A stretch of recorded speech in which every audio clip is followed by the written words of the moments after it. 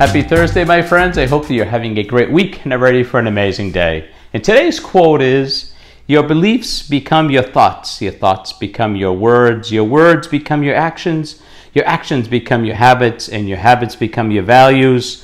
And finally, your values become your destiny. That was by the Indian activist who was a leader of the Indian independence movement against the British rule, Gandhi. So for today's act of kindness, keep your eyes out for opportunities that you may have missed or that are just beyond your reach. Don't let that little guy on your shoulder talk you out of taking an opportunity that may come your way.